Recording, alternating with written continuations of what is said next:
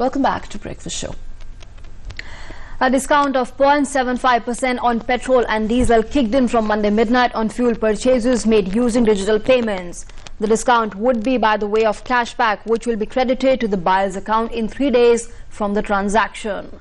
The 0.75% discount on payments made using either credit or debit cards, e-wallets or mobile wallets will translate into a rebate of 49 paise a litre on petrol and 41 paise on diesel. Petrol is currently sold at 66 rupees 10 paise per litre in Delhi, while a litre of diesel costs uh, 54 rupees 57 paise per litre. And our correspondent Siddhant Sibal is now joining us for more on that. Uh, Siddhant, uh, good morning. Uh, uh, you know, what reactions are you picking up from people now making uh, digital payments? That is the way to go. That's the future. And measures like these coming in as a big boost.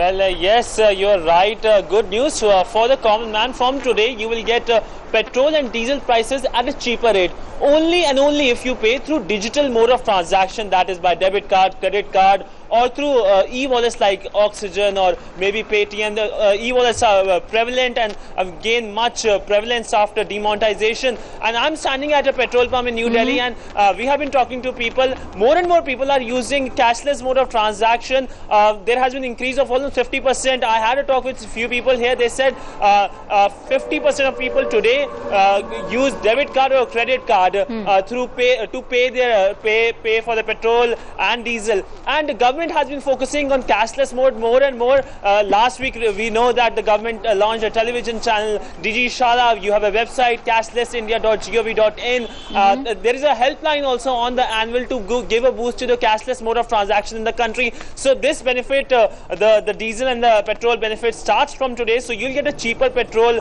uh, prices yes. on, on uh, through digital payment. And remember, you'll get a benefit of 0.5%. Usually when uh, uh, every fortnight there is a cut or increase in the petrol prices, there is uh, approximately, it's, it's, it's like uh, 1 rupee or, or, or, approximately like that. So, so it's a huge benefit. Like if you pay 500 rupees, you'll right. get a benefit of 3 rupees 7.5 7 rupees. So that's, that's quite a, quite a huge benefit.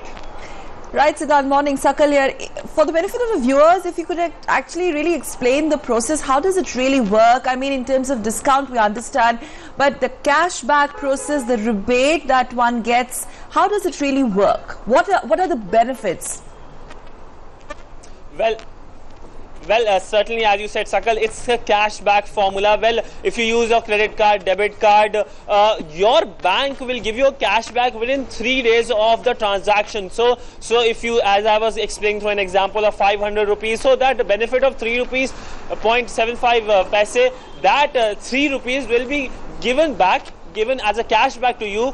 Uh, to, uh, to, to you through your bank, uh, not by the petrol pump. So this transaction, you'll get a benefit, and government is trying to give a rebate or kind of a, you can use the word subsidy also to give a boost to the cashless transaction across the country, which has gained momentum, especially after the demonetization measure announced by the government to curb the uh, black money in the country.